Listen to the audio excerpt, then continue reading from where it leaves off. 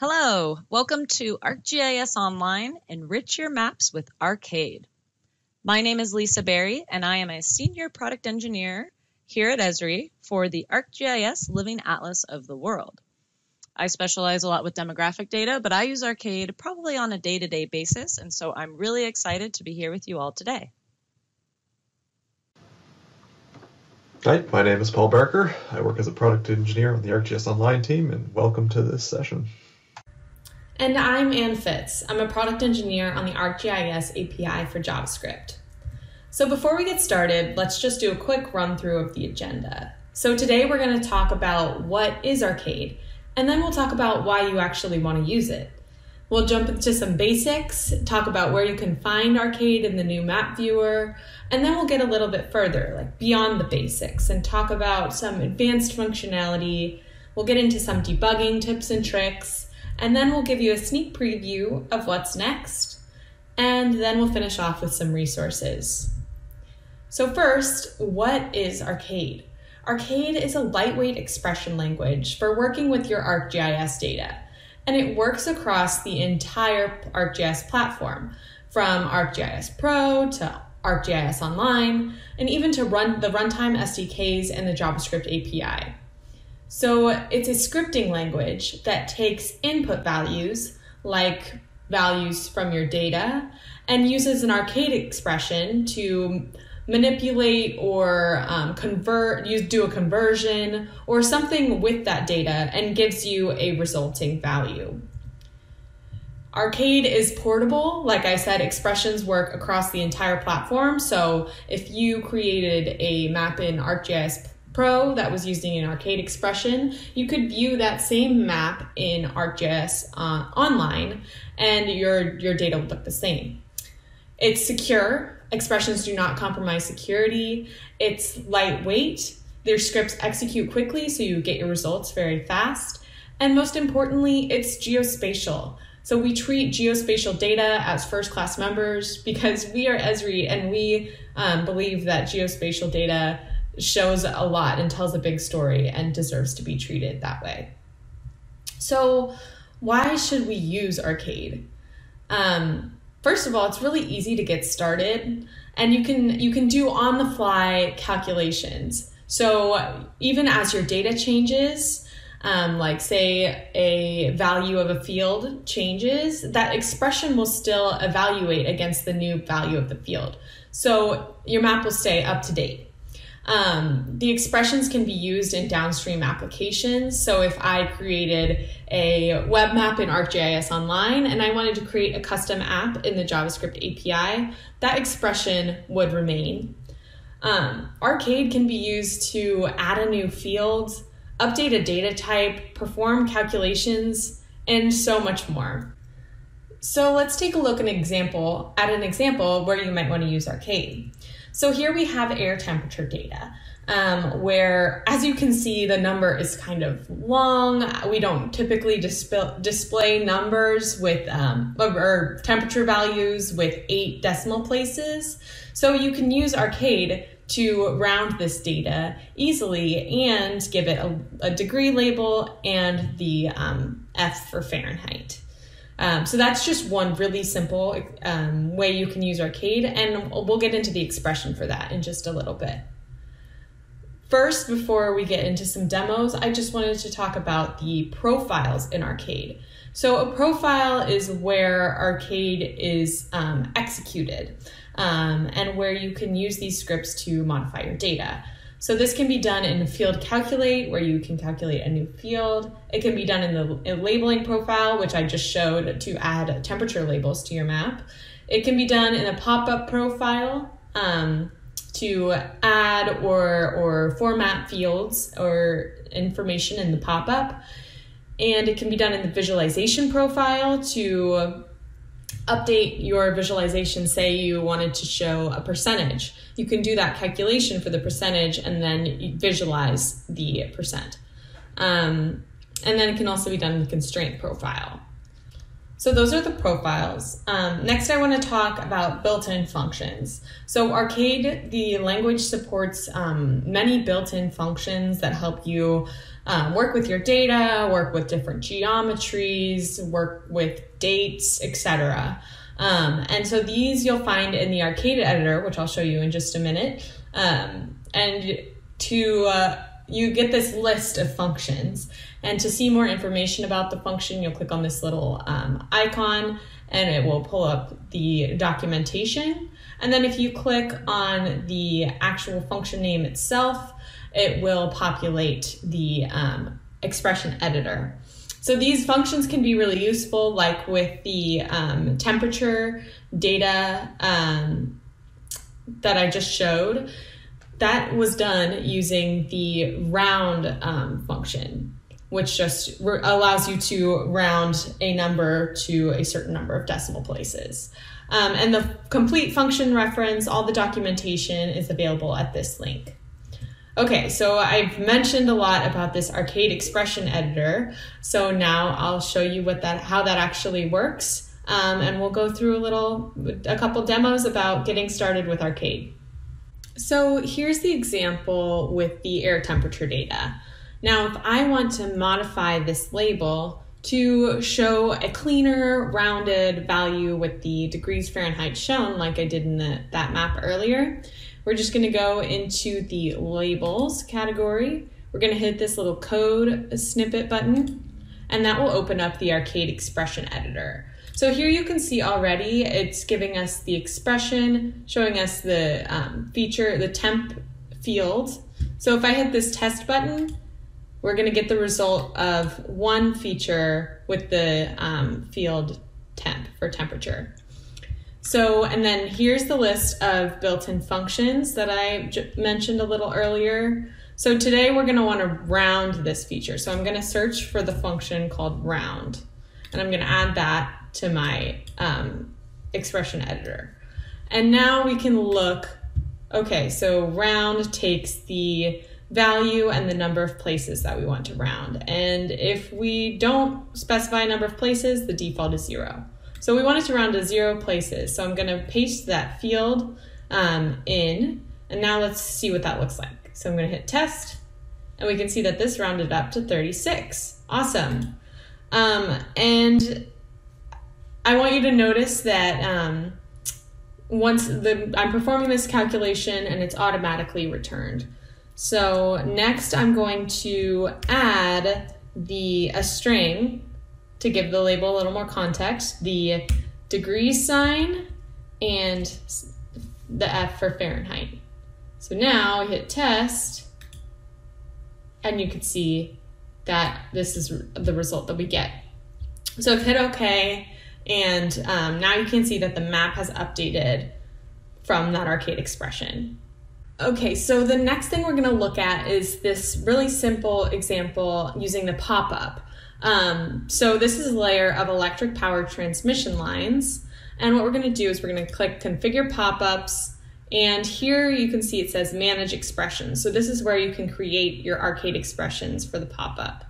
Um, so first let's take a look at one of these pop-ups. I'm going to click on a feature. We can see that it's kind of ugly, bulky, in your face. This is just the default pop-up and all of the fields are in all caps. So um, it's kind of just really, really in your face. So let's use Arcade to kind of format that a little nicer um, to, to make it a little more pleasing to the eye. So here I'm going to click Manage Expressions and I'm going to click Add Expression. Um, so I'm just going to delete these comments. And I forgot to mention this last time, but here we have a list of globals. So this shows um, the feature, and if we click this arrow, you can see all the specific fields on the feature, and um, same with the layer, etc. So, so that just shows the globals that are provided um, in your in your um, in the arcade editor. So, like clicking on the map, if you had another layer in um, your map, then it would show here. So yeah, let's go back to feature. What we want to do is we want to take this um, description field and we want to make it lowercase. And so there's a function actually that will allow us to do that. So here we are back again at this list of functions. There's a lot. It's, it's a lot to sort through. Um, but if you look at the arcade doc, um, it really helps get to know all these functions that we um, support. So here's this proper function, and this function um, converts a text value to title case. So you can do that for either every word or for the first word. So I'm going to go back to the function list. I'm going to click on that, and then I'm going to open up the, the documentation again. So here we're going to want to add our field, and then here we want, do we want every word to be title case or just the first word? So since this is a description, we just want it to be the first word. Okay, so now I'm gonna go back to my globals and I'm going to replace this field or value with this description feature, uh, feature field. Okay, so now I can hit test and we can see that instead of all caps, it's now a little more pleasant um, with mostly lowercase. Okay, so now we can apply that to our pop-up. We'll see, um, then we'll have to go back into this fields list and we can select a field. What we're gonna do is we're gonna remove this description field and we're going to add our expression, custom, oh, I forgot to add the title. So we're gonna add this, we're gonna add this expression we just wrote. Um, maybe let's move it up in the um, pop up a bit. So now it's towards the top. You can see it there. But what I should have done is give this a better description. So we'll go back to manage expressions. We'll click on this and we'll update the title. So now we can just say description. And we'll hit save. And now you can see that the title of the expression is right there and the result of the expression is right there. And we can go through and do that into to the rest of the pop-up values if we wanted to. Okay, so next we're gonna go and look at this air temperature data again. Um, but here you can see we've rendered it show, using the um, this point symbol with a color visual variable to show red um, where the temperature is higher and blue where the temperature is lower. So what we want to do now is use Arcade to um, set a rotation on the on the um, symbol. So first we're going to go into the style options and we are going to update the symbol style. So we want to give it the style of something that can be rotated. So I'm going to go into the symbol pairs category and just give it this up arrow. And I'm going to update the size a bit to make it a little a little bit bigger. So now that we have this up arrow, we want to scroll down and we can do rotation by attribute. And so we can turn on this and then automatically it's rotated by this default attribute. So we're gonna find this wind origin, which is in degrees, and we're gonna replace that. So now we have these arrows pointing a little more, um, following an actual um, rotation value. So now we're using the geographic rotation. So that's already rotating at 90 degrees. So what we want to do, since this is the degrees of the wind origin, we want to add 90 to that to show the direction the wind is traveling. So what we'll do is we'll hit that um, code button, and now we're going to just go adjust it. We're going to title this adjusted wind direction. And then we will take the field value for wind direction. Add that to our expression and we're just going to simply add 90. So you can see this original value was zero and now with 90 added, now it's 90. So we'll go ahead and click OK. And now you can see we have the adjusted wind direction um, for the location the arrows are pointing in the map. Awesome. Okay, so that's all the demos that I had for today. I'm going to pass it off to Lisa, who will um, talk to us a little more about all the places you can find Arcade in the in the map viewer and give some more demos. Take it away, Lisa. Thanks, Anne. So there's a lot of different places where you can find Arcade within the map viewer.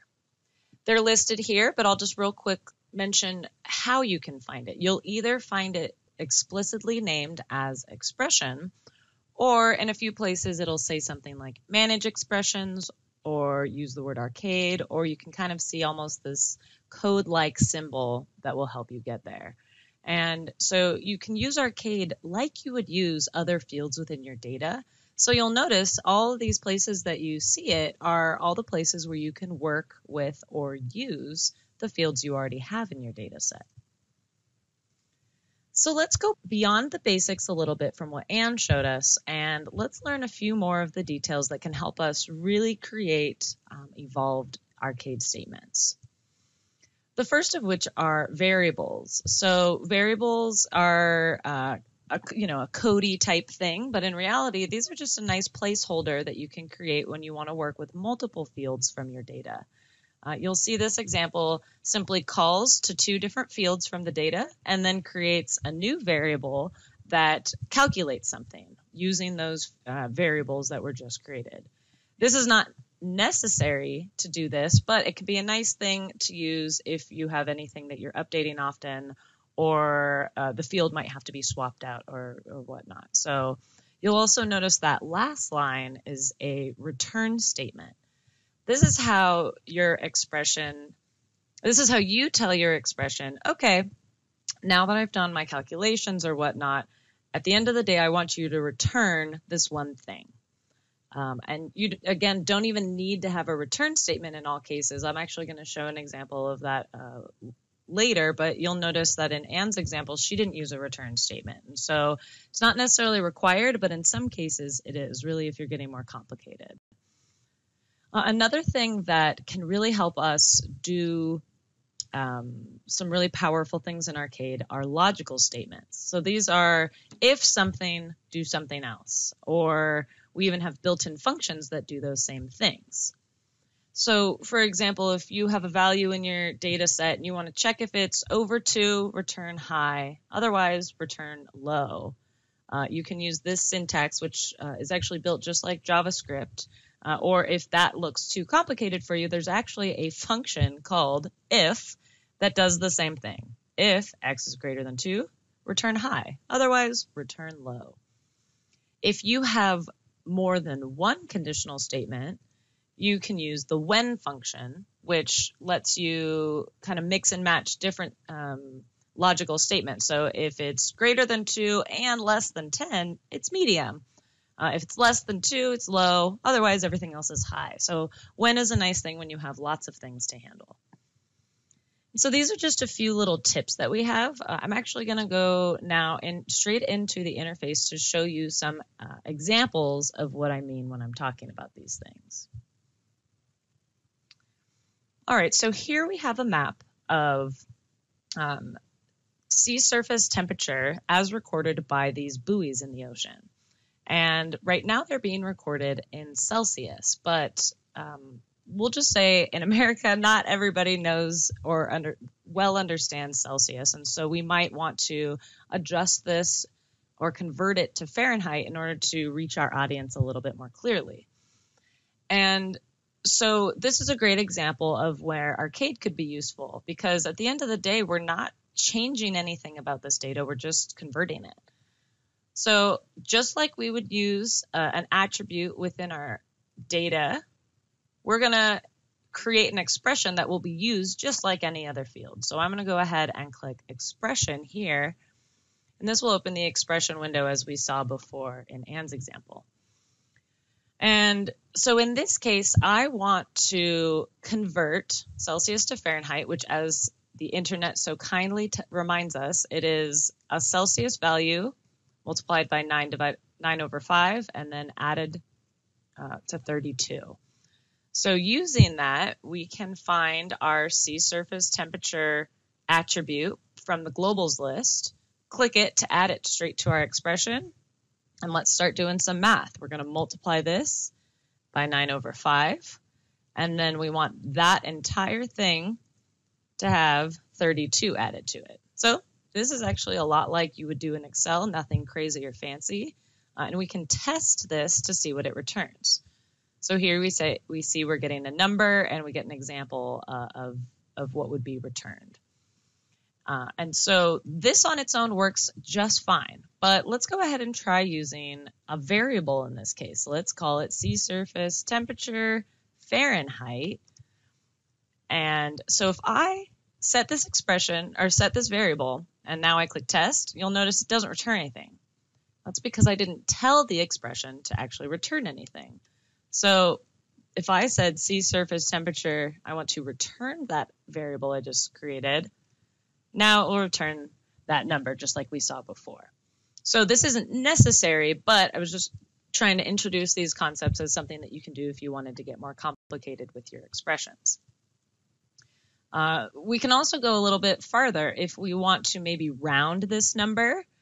One of the functions that I think I use the most is in fact the round function, uh, which if we click this little I here, we can go in and actually see exactly what it expects to use this function. It says give it a value and tell it the number of places to round it. So I'm going to go ahead and round this final product and I want it, say, two decimal points. So if I click test, now you see down here in our results, we're getting two decimal points. A best practice for using expressions is to give our um, expressions nice names, just like we give our fields nice names. It helps it to be easily findable later on, and it also is going to be what appears in your legend. So uh, quick tip, make sure that you give your expressions nice names. And so now, just as we would before, we can go ahead and go in and map these attributes. And you'll notice now our legend is giving us the values in Fahrenheit. So that was a basic example of using variables, um, uh, some functions. Let's go ahead and do some more conditional work using those logical statements that I brought up earlier.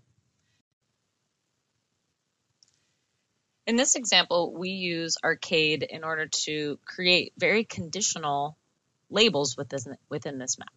And so why would we do something like that? So if you're using American Community Survey data from the U.S. Census Bureau, it samples a certain part of the population. So while we can see the percent of population that has insurance, health insurance or not, um, survey data such as ACS comes with a certain level of error. Uh, in this case, it's known as the margin of error. And so, in order to communicate that not everywhere will have uh, very reliable data, we used labels to communicate this. And if we check out the different label classes that we have configured within our map, we can see what arcade was used in the background to conditionally set each one. You'll notice that medium is yellow, low is red, and this is because we were able to create these unique arcade expressions. Uh, and instead of using a normal field, we went over here and chose that code looking symbol over to the side.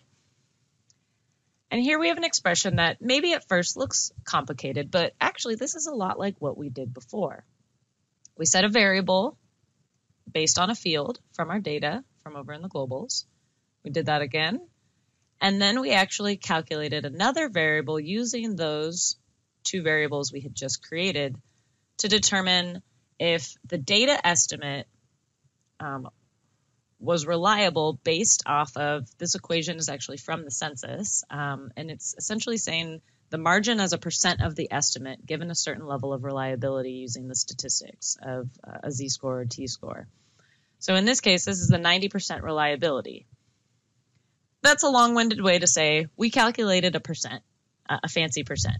And then we're using that fancy percent to say, well, if it's over t- between 12 and 40, we're going to call that medium reliability. So these are just thresholds that have been determined by demographers and statisticians as important of whether or not uh, these errors are reliable or not. And so in this case, we just used a basic if statement to tell our arcade statement to return a nice readable phrase. We were then able to go in and give that a custom label style uh, so that it turned yellow.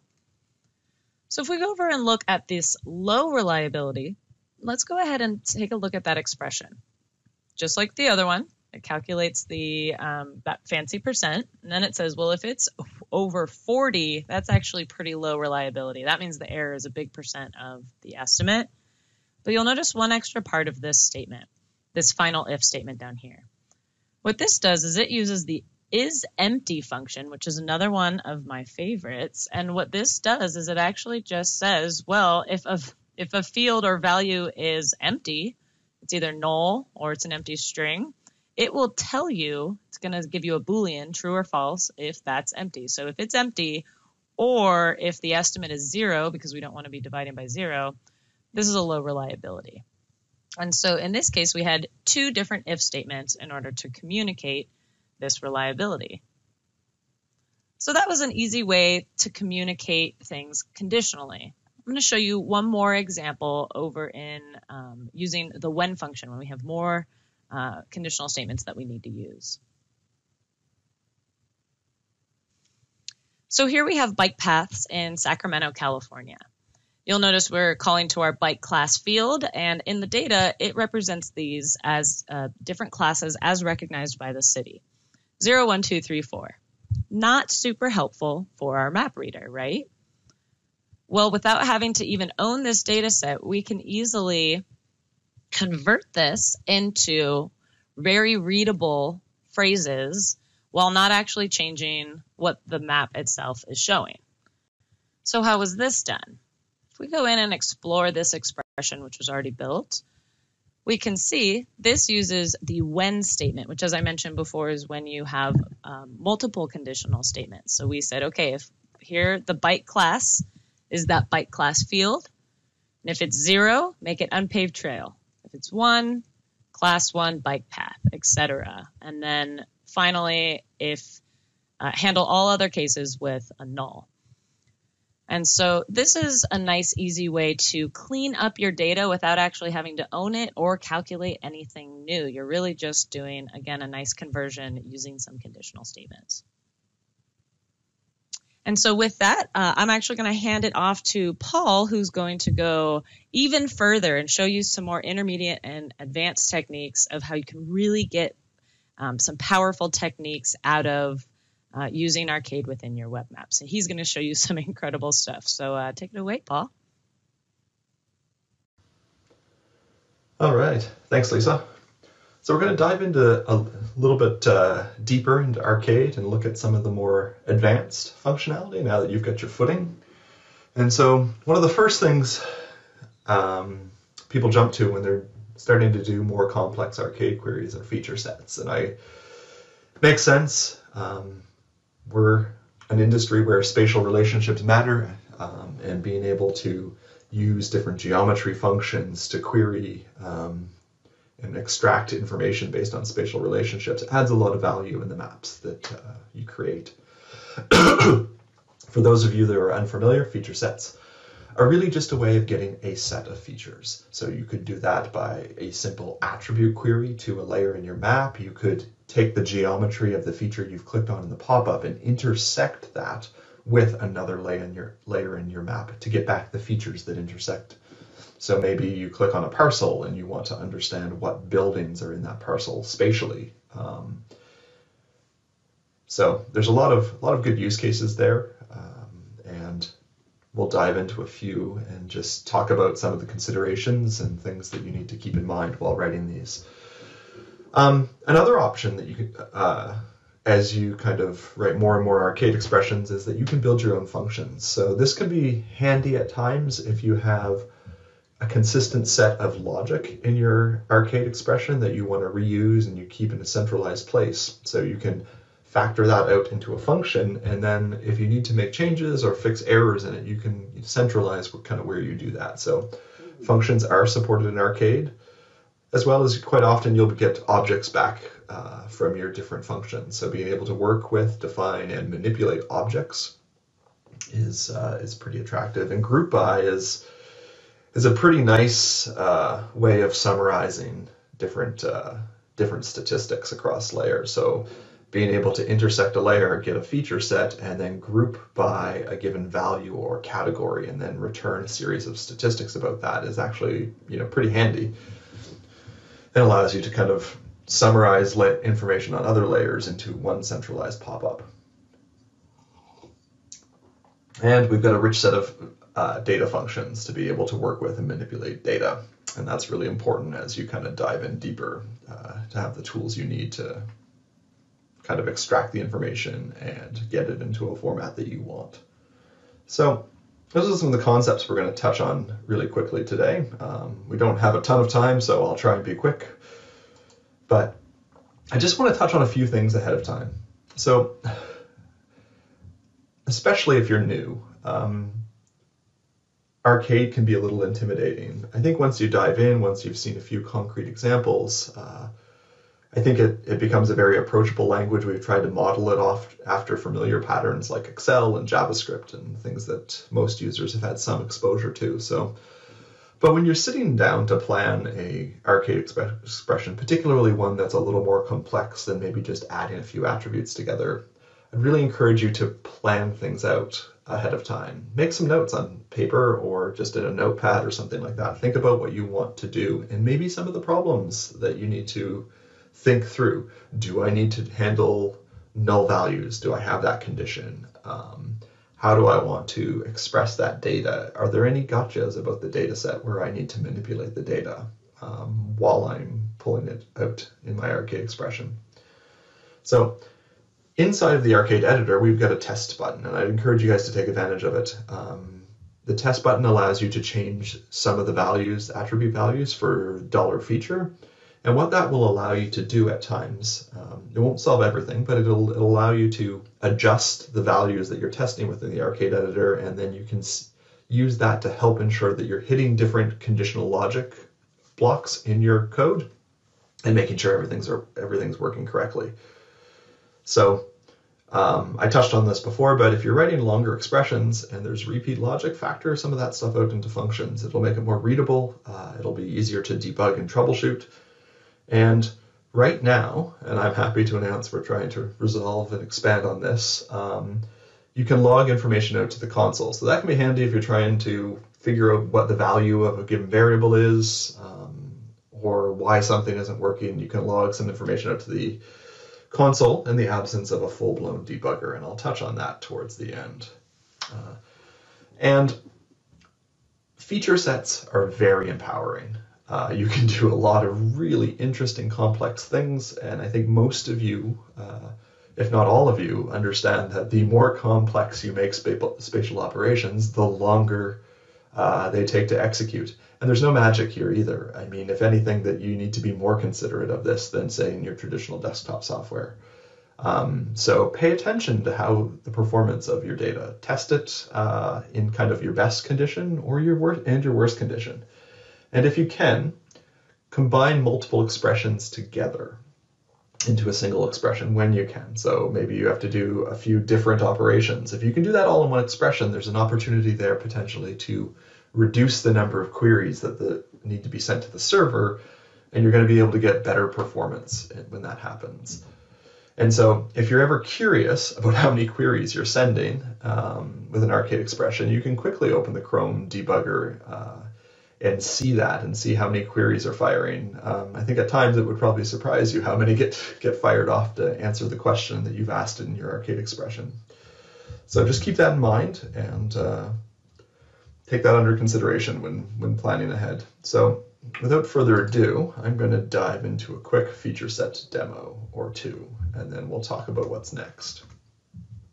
Uh, let me just hop over here. All right. So I've got a pretty straightforward data set here. Uh, we're going to go with the tree theme this UC release. Uh, urban trees are a nice data set because um, everyone, I think, understands trees. So I've got trees, they're colored by height. That's not super important right now, but if I click on a single tree, it's going to go out, it's going to pull in some information.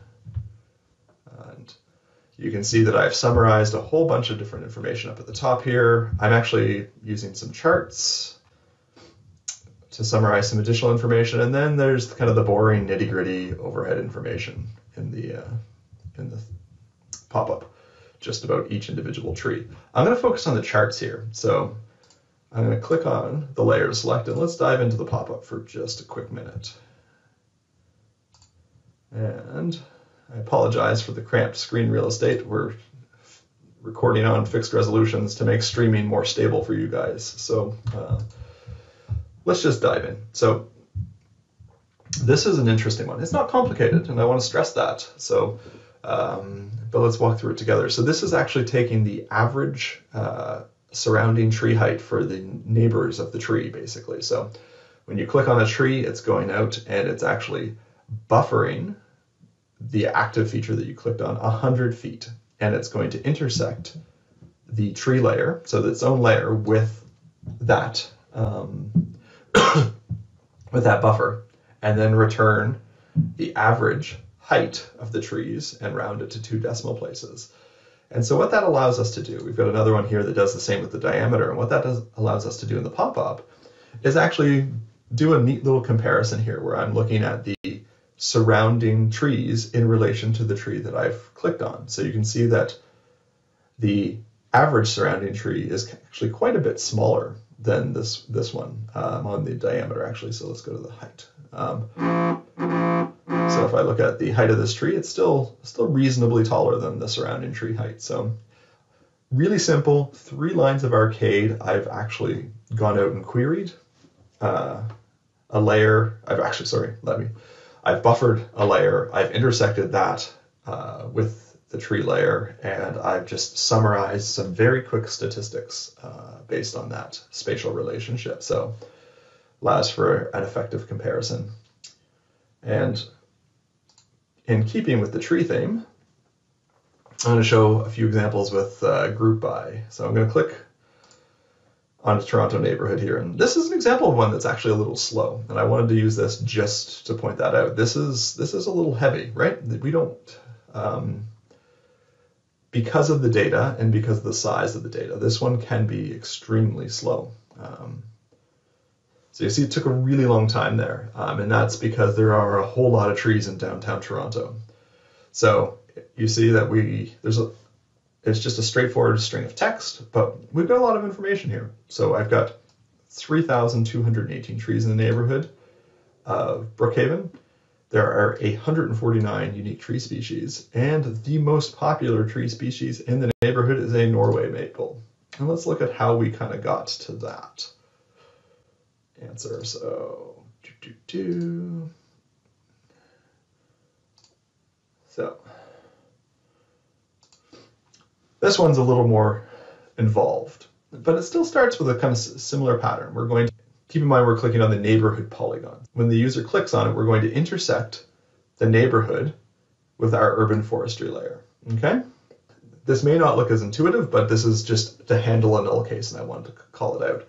So what I'm actually doing is I'm getting the first feature in the feature set above.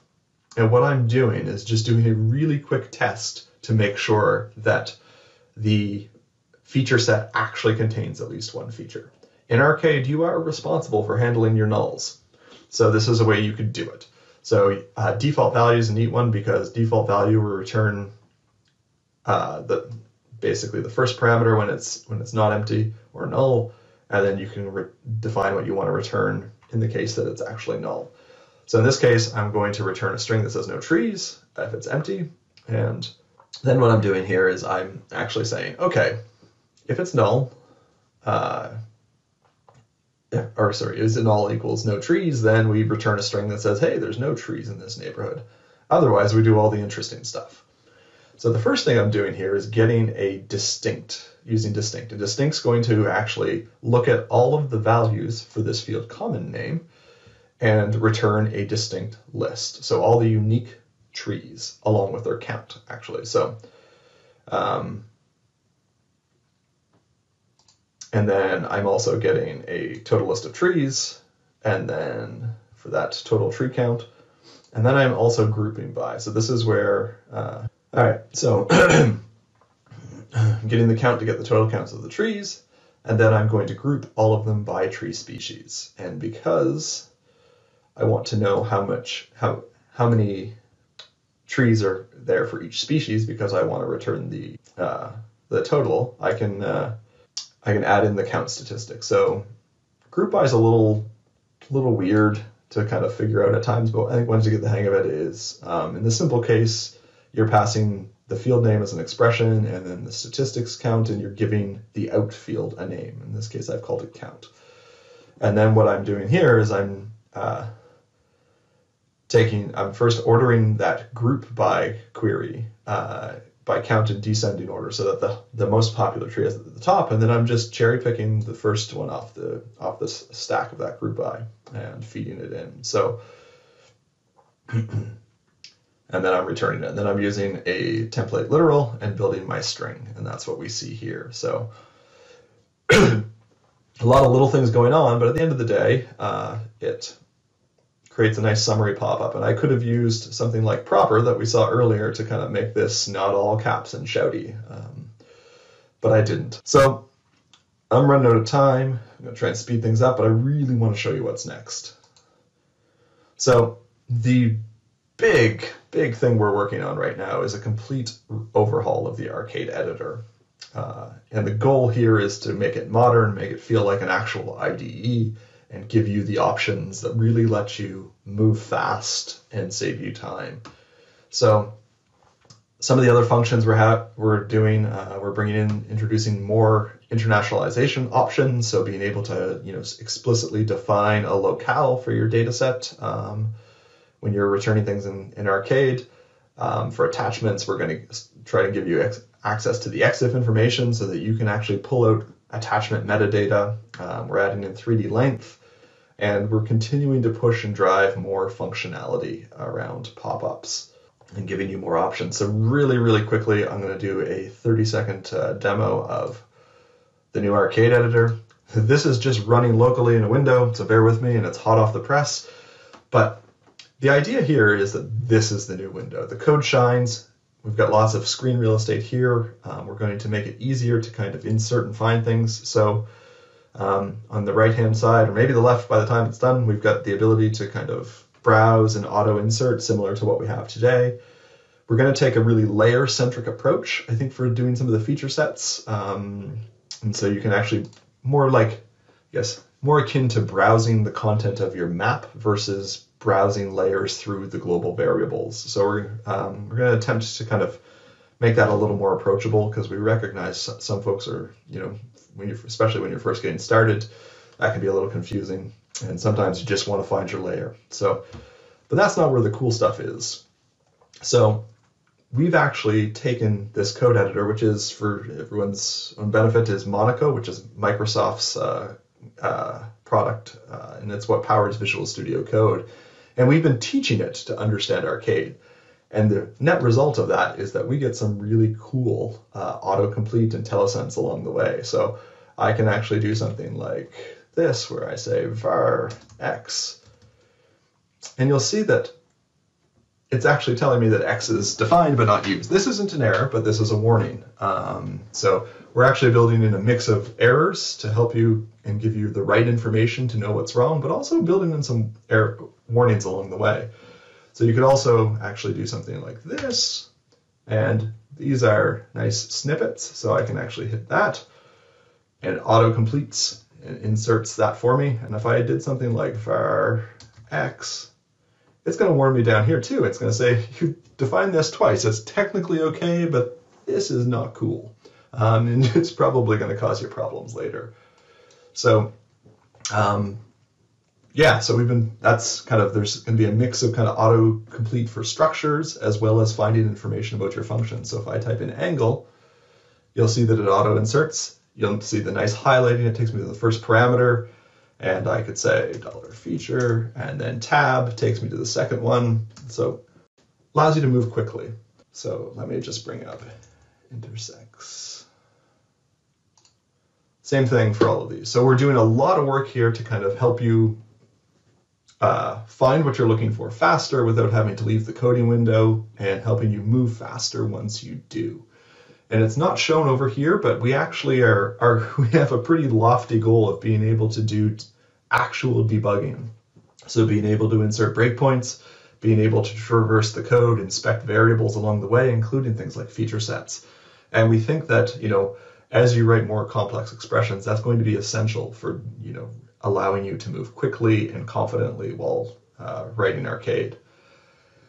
I'll just flip over to quickly to our resource page. Um, Here's a quick resource page. Um, lots of good stuff here. If you take a screenshot of anything, this is the one to do it. Um, and thank you very much for attending. And please take the time to find us at the islands and uh, ask questions. Happy to answer them and uh, enjoy the rest of the UC. Thanks.